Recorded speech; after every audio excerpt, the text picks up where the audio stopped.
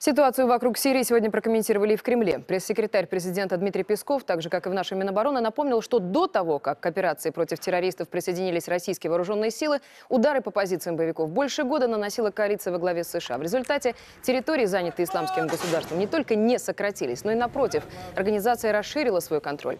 Это, отметил Песков, дестабилизирует ситуацию как в Сирии, так и во всем регионе, включая Турцию, члена НАТО. Не остались без внимания и планы Великобритании по переброске военных в Прибалтику. А перед дислокации туда самолетов и намерении отправлять военнослужащих в будущем накануне заявил в Брюсселе глава британского Минобороны. По мнению Пескова, НАТО прикрывает очередную экспансию к границам России надуманными предлогами, а якобы исходящей от нее угрозы. Он подчеркнул, любые планы придвинуть инфраструктуру Альянса к российским границам приведут к ответным действиям Москвы.